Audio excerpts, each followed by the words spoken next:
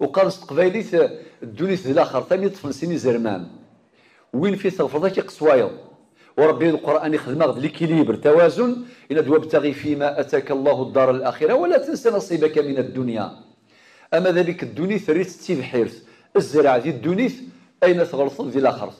المسلم الذكي هو الذي يحول دنياه إلى مزرعة. كما قال ربنا في سورة الكهف في آخر آية 110 فمن كان يرجو لقاء ربه فليعمل عملا صالحا ولا يشرك بعبادة ربه أحدا. وني فغان سكسو سوذي وسنين مدنا إلى قد يشرو سيدي